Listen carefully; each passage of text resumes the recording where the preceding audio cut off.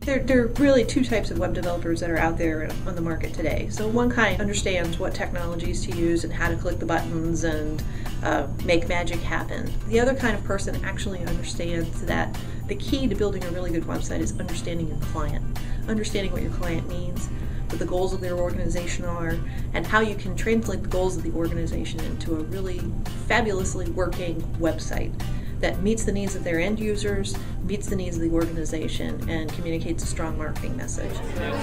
The Vermont Partnership for Fairness and Diversity uh, came to the Grad Center back in the fall and was looking for someone to come and um, basically uh, provide a refresh for their website.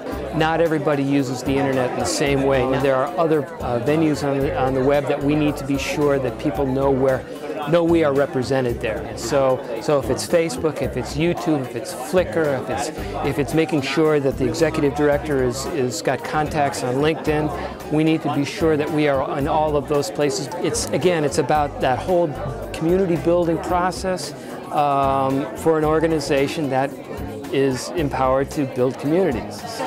Our website was just really static, cumbersome, uh, consumer unfriendly place to be. Conceptually, we really like what he's done with it. The sort of bells and whistles, which we never had before, which we never really understood. We control the message that's going out there. And Peter's been uh, really instrumental in making that happen for us. In 2010, it's very important that you're building your websites using a content management system. Uh, and a content management system is a way that you can put information into a database uh, you don't have to know necessarily a whole lot of code or complicated stuff in order to make changes to the, that information.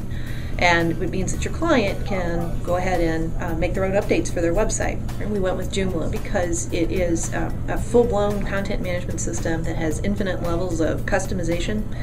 And um, at the same time, it has a much lower technical barrier to entry than um, some of the more complicated content management systems such as Drupal. So heavier lifting than WordPress, less complicated than Drupal, uh, makes it a really good fit for our students. Uh, my capstone sponsor is Augusta Auctions, and they take consignments from museums and institutions of historic costuming and clothing and textiles. And one of the things that they want to do is make this accessible to researchers, plus cut down the turnaround time that it takes them to put new photos up for their new auctions. So what we ended up doing is we're going to uh, the Joomla content management system.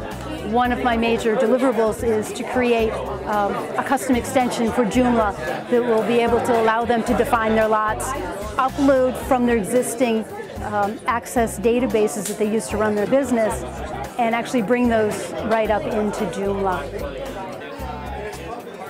She was a godsend to this uh, project. It, it's so complex, and uh, she took something so hard, made it look simple. It's, it's very exciting.